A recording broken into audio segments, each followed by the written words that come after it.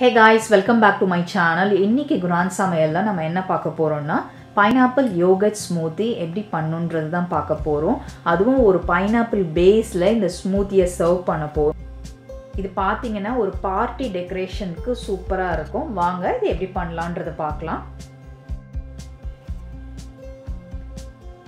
Pineapple yoghurt smoothie செய்யறதுக்கு தேவையான பொருட்கள். நான் இந்த கப்பில் வந்து ஒரு கப் பைனாப்பிளை வந்துட்டு கட் பண்ணி எடுத்திருக்கேன். அரை கப் வந்து தயிர் எடுத்துக்கோங்க.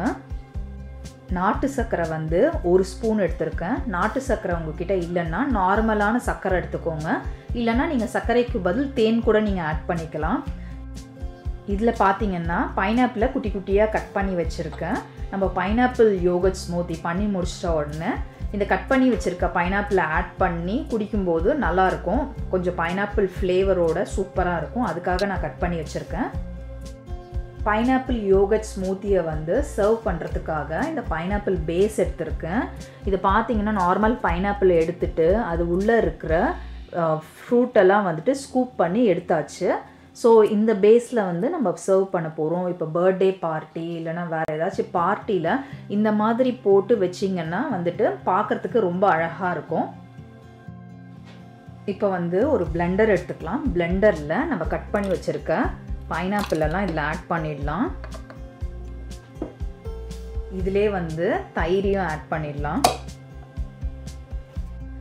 ஸ்வீட்னஸ்க்காக நம்ம இதில் நாட்டு சர்க்கரை ஆட் பண்ணுறோம் இதிலே வந்து நம்ம கொஞ்சமாக தண்ணி ஆட் பண்ண போகிறோம் தண்ணி வந்து உங்களுக்கு எந்த அளவுக்கு வேணுமோ அந்த அளவுக்கு ஆட் பண்ணிக்கோங்க. இப்போது இந்த பிளெண்டரை க்ளோஸ் பண்ணிக்கலாம்.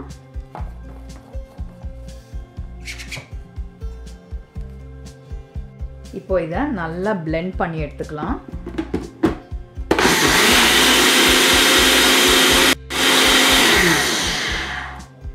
இப்போ வந்து இந்த பைனாப்பிள் பேஸில் வந்து இந்த ஸ்மூத்தியை ஆட் பண்ணிடலாம்.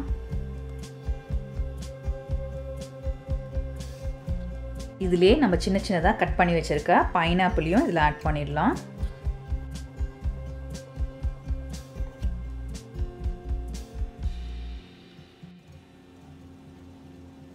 கட் பண்ணி வச்சுருக்க பைனாப்பிளை டெக்கரேட் பண்ணிடலாம்.